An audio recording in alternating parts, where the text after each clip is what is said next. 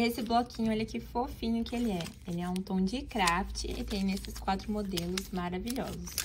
Alguns são decorados só em volta. Esse aqui também tem um coraçãozinho até. Esse aqui tem um coração no meio e esse é pautado.